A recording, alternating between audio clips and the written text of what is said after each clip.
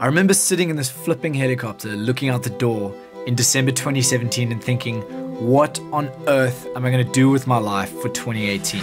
It's funny how things have changed. 12 months later, sitting here in December 2018, looking into 2019 and thinking, I know exactly what I'm going to be doing with my life for 2019. Let, Let me explain. explain.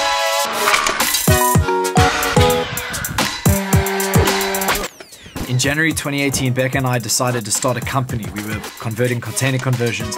We hadn't sold anything just yet, but the interest in our product was huge. By April, we had 30 days to decide whether we would be rejoining Motor Yacht I for another season. Eventually, we were still so undecided that we almost had to go because we weren't willing to let the boat struggle to find new crew just because of our indecisiveness. Three weeks no sleep. Once we'd made the decision to go, I decided, it. I'm going all out YouTube this year on Motor Yacht I. Show everything and anything. Be me. Film more than what I ever have before. Let loose, but make sure I still have fun doing it no matter what.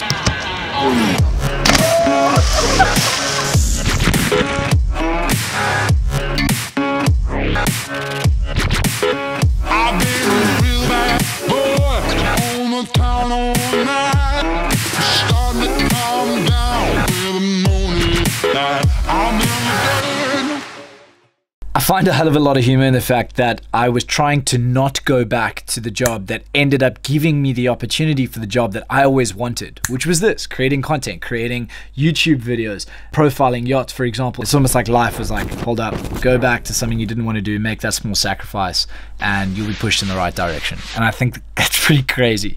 We rejoined Motor Yacht I in Malaga. Oh, this feels pretty weird and familiar. I worked our way up to Palma Mallorca, Palma Mallorca, down to Malta, from Malta through to Montenegro, doing the whole Croatian coastline, Croatia over to Venice, Venice back to Croatia, Croatia down to Naples in Italy, Italy back to Palma Mallorca, and Palma Mallorca back to the home base in Malaga. A hell of a trip, somewhere around five or 6,000 nautical miles, which is enough to cross the Atlantic Ocean twice.